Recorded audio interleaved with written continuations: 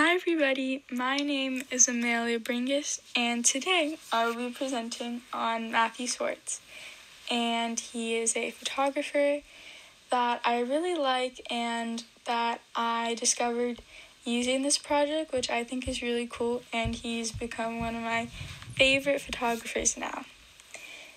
So, here is some of his work that I found after searching up his name and these are actually the first pieces that really stuck out to me.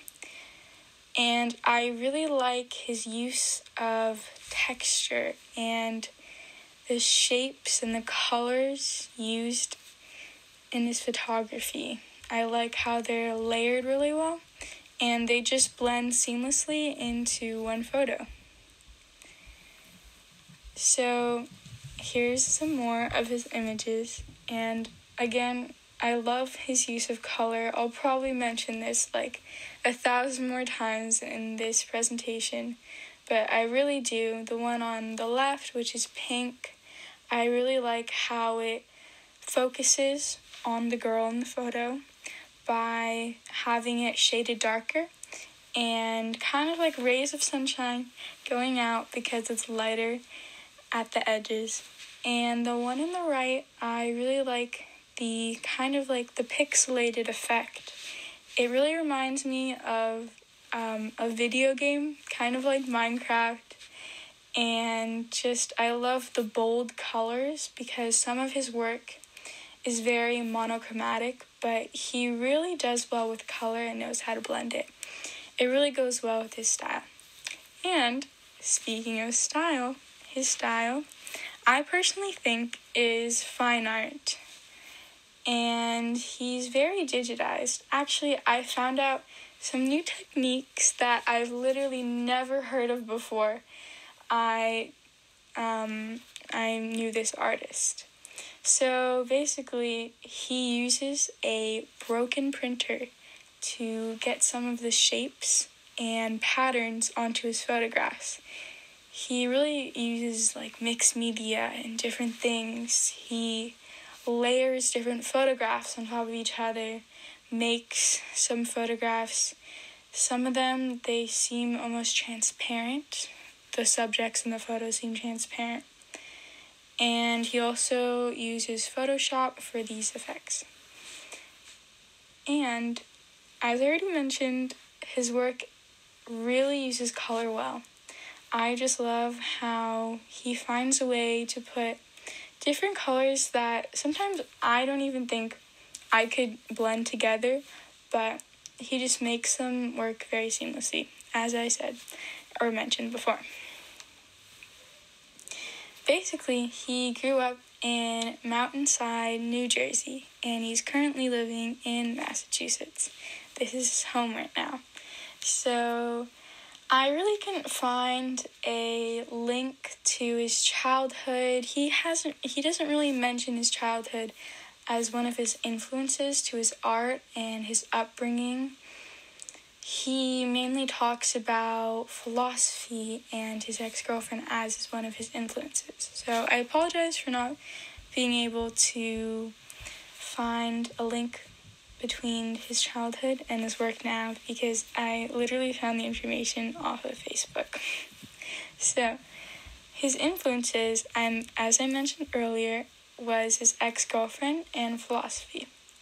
And this was these influences were taken out of his two projects that I mainly focus on in this video, which are The Alternatives and Beth.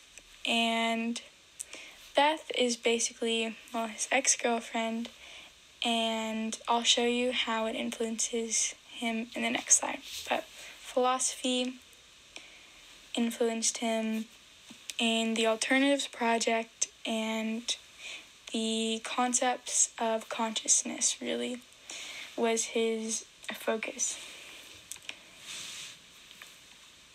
So here's some photos from Beth, and I also showed some of the photos before in the presentation. And Beth was his ex girlfriend. And basically, in this project, he mentions, well, he alludes to some of the feelings of missing her and moving on. into his new relationship and he uses some old photos for this project that were previously taken, but he also uses photos that he took specifically for this project. And, and in one of the images, he actually layered um, Beth and his new girlfriend, which I found kind of weird but cool at the same time. And as I mentioned before, philosophy was an influence in the Alternatives Project. So basically, he came into contact with philosophy from the University of Princeton in 1992 when he got a degree. And in 1994, he went to a pre med program, which I think was pretty cool because he's very like well rounded. Um, in addition to his college and art, college of art, my apologies, and design and photography degree in Massachusetts College. So here's the alternatives, and philosophy really worked its way into this project because his main focus was consciousness. And this was basically, as I see it, and how I interpret it. Um, the one on the right is very blurry. The far right is very blurry, and I feel like that represents just kind of going in and out of consciousness and just being lost in, you know, your own world and sometimes not realizing what's around you. And in the middle one, I feel like this really represents to me is kind of like stress or feeling of panic, just looking from side to side. And I could just imagine the model's face moving. And in the first photo on the very left, I love this photo. I'm going to say that a lot because it really reminds me of the beach because of the the kind of rocks or boulders. It just reminds me of the sand and my family, which I really miss them a lot. And I love how he made the model in this image um, kind of see through, so it really blends in with the background. It reminds me of like CGI, artificial intelligence, just gives me kind of like that techie vibe. And um, here are more of his images from Beth and the Alternatives.